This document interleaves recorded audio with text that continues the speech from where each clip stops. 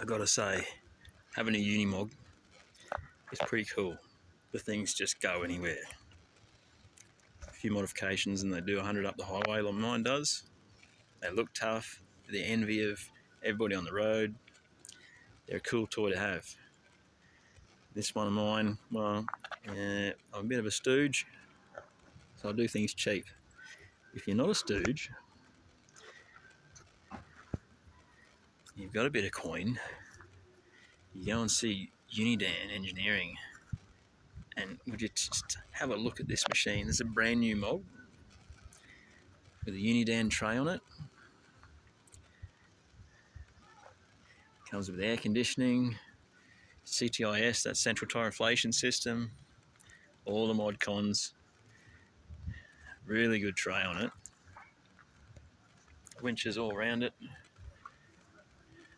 Let me show you one more Unidan accessory that has just come out.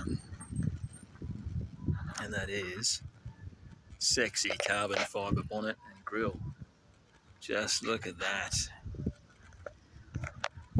If you want to be the envy of everybody on the road and have everybody drooling at you in their mild Mercedes cars, wishing they were cool as you, then get yourself in one of these. That is absolutely mint.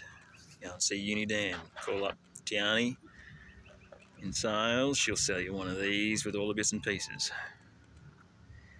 And everyone can drool as you drive past them.